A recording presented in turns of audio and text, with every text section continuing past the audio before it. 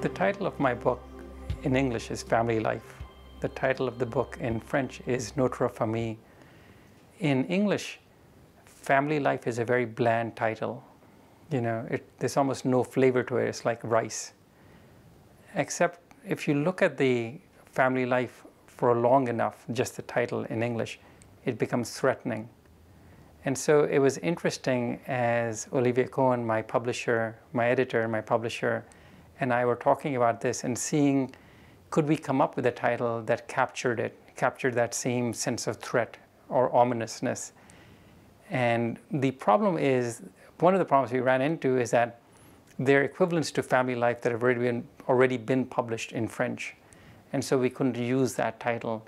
And it's what I find amazing is how translation is almost a parallel art form. You know that you know these the translators are artists in and of themselves, their own right. The book is based on my own story and the story of my family. Uh, my my parents, my beloved parents, uh, whom whom I love very much, and my brother. Um, when my family came to America in 1979, you know, we were ordinary people. We were part of the first generation of Indians in America. Two years after we arrived, um, my brother had an accident in a swimming pool. My, my brother Anoop is, was older than I am. He was four years older. So at that point in 1981, I was 10 and Anoop was 14. And he dived into a swimming pool struck his head on the bottom of the pool and um, was knocked unconscious. And he remained unconscious. Uh, he remained underwater for about three minutes. When he was pulled out, because of the oxygen deprivation, he had suffered massive brain damage. Uh, he couldn't walk or talk. He couldn't roll over in his sleep. Uh, his mind was basically destroyed.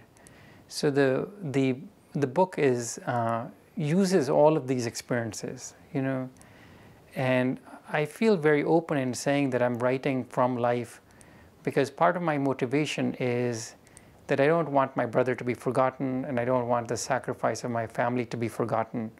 You know, all the things that they did, which is what happens, you know, for ordinary people. You know, they get forgotten. Um, and I just don't want that to occur.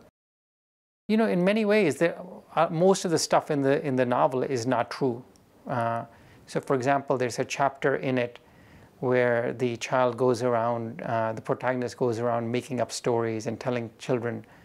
And that did not happen. In fact, it was the opposite, that I did not tell anybody uh, what had happened to my brother. In the story, in the novel, he goes around and tells people what happened. And I have him do this because I need to dramatize uh, what was going on internally for me after the accident. That is, I didn't want to tell anybody uh, about my brother because I felt that nobody would be able to understand, except my not telling could not be made into something that was fictionally compelling. The emotions are all true, uh, and a lot of the a lot of the physical spaces are the same. You know, the apartment that they, the houses and apartments that they live in are the houses and apartments that we lived in my mother looks like the mother in the book, my, the, my father looks like the father in the book. Uh, but the events are different, and the events have to be different to allow the reader into this, into this situation. There's several problems with stories like this. One is what there's obviously no plot.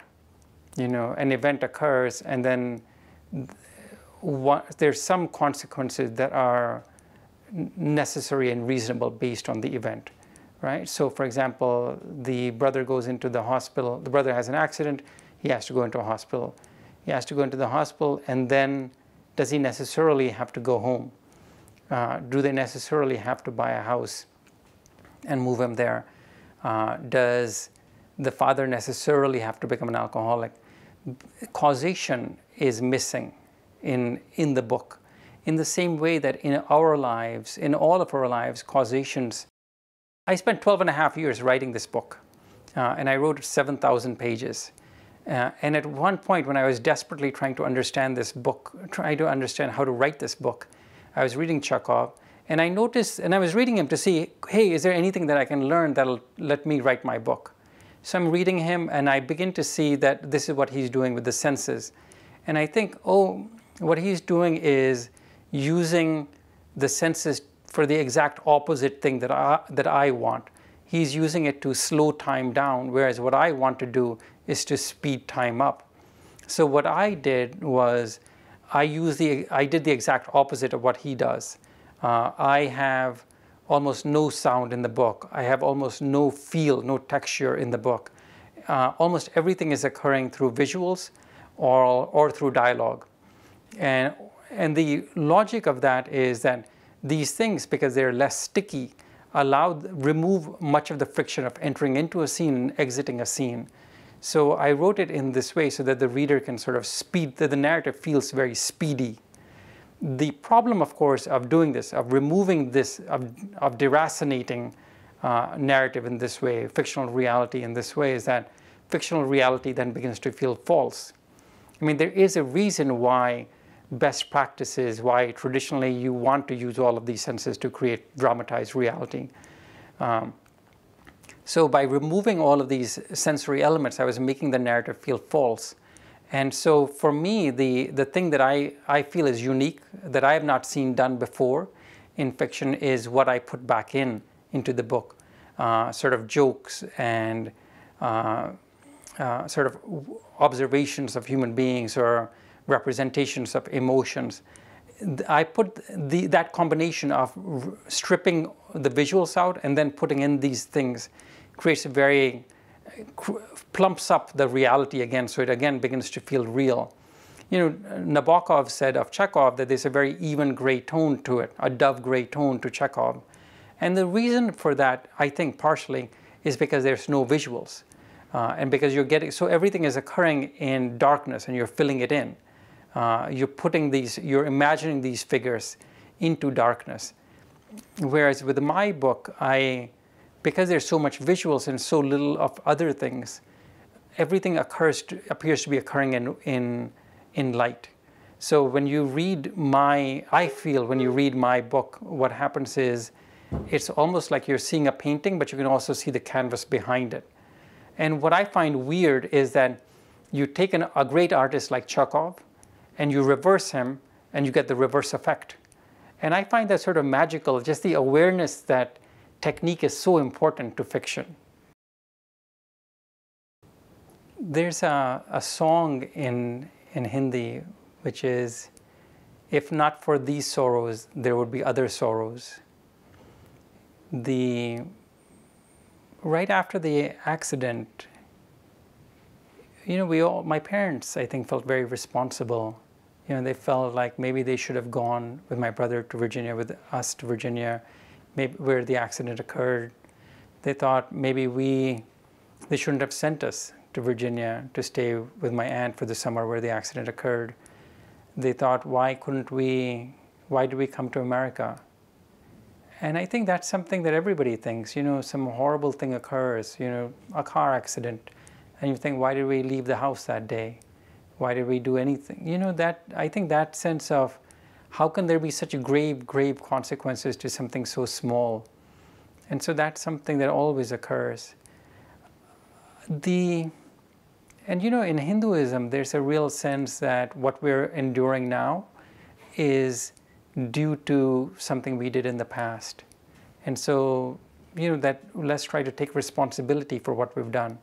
And there's also a sense that whatever we enter into, whatever suffering we are entering into, let's try to handle it nobly because it's going to matter, it's going to influence what happens to us in our future lives.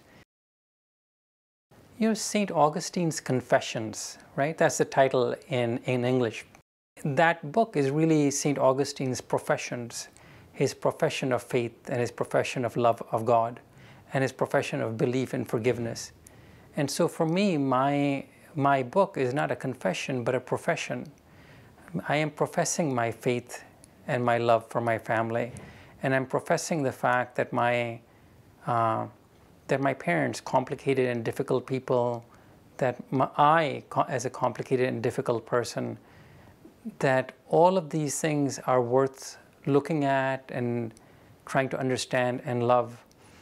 before I began writing this book, I asked my parents' permission. So when I was asking my mother, when I told my mother I was going to write this book, she said, Akhil, just make me look good. And then when I told my father that I was writing, the, writing this book, my father doesn't read. Not only does he not read, he doesn't believe anybody else does either. He thinks they're just lying and pretending to read so that they can look important. So when I told him that I was writing this book, he said to me, Akhil, if you want to keep a secret, put it in a book.